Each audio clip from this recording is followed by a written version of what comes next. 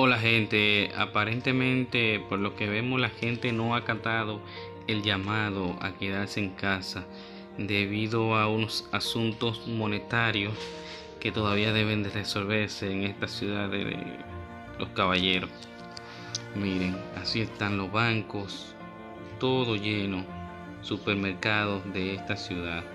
Vamos a mostrarle un poco de lo que está sucediendo ahora mismo.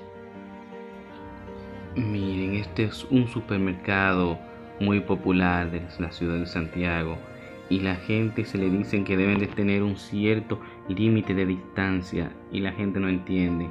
A pesar de que aquí son muy, muy, muy cariñosos, todavía hay que entender un poquito que deben de estar en espacio.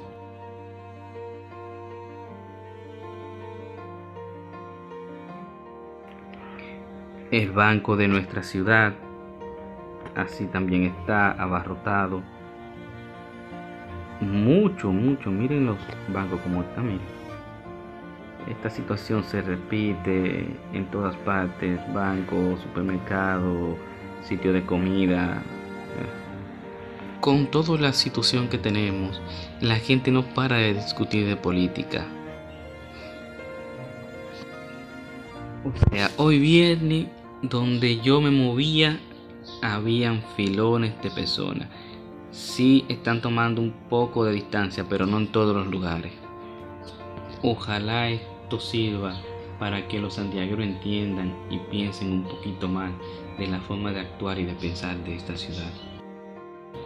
Aquí hay varios factores por los cuales es la gran filota.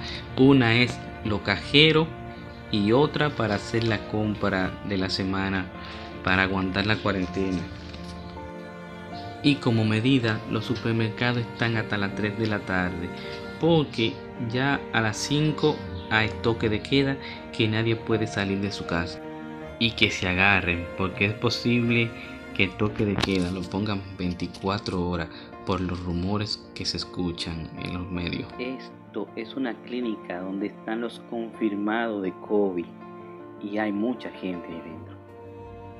Bueno, y para finalizar, este es otro supermercado también que abarca Pueblo Nuevo. O sea, no hay cabida para más nadie.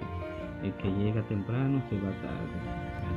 En realidad, no hay lugar que hoy no se vaya que no esté lleno. Entiendo supermercado, todos están full. Nos vemos, gente. Quédate en casa, ¿eh? Stay home.